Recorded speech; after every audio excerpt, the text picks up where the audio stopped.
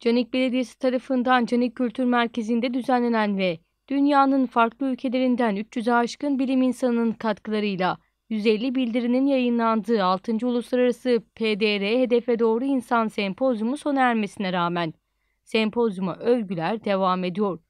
Sempozyuma Amerika Birleşik Devletleri Ohio Üniversitesi'nden katılan bilim insanı Profesör Doktor Bat, Başkan Osman Genç ve Başkan Yardımcısı Ali Can Usta'ya gönderdiği teşekkür mektubunda sempozyuma olan hayranlığını dile getirdi. Profesör Doktor Bat, Başkan Genç ve Başkan Yardımcısı Usta'ya gönderdiği mektupta Orada büyük bir sıcaklık ve misafirperverlik gördüm.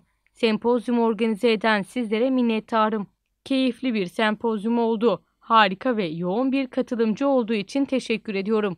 Bu kadar başarılı bir program, iyi bir vizyon ve iyi bir planlamanın sonucudur.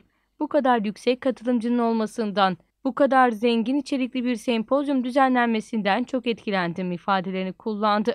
Canik Belediyesi olarak insanlığa ve bilime katkı veren bir sempozyum düzenlemekten mutlu olduklarını belirten Başkan Yardımcısı Ali Can Usta, bir üniversite kürsüsü olarak Ohio Üniversitesi gibi bir kurumdan mektup almak, bu tür dönüşümler çalıştay ve sempozyumlarda tecrübeli olan bizlere şevk veriyor. En önemlisi ise ne kadar doğru bir iş yaptığımızı daha iyi anlıyoruz.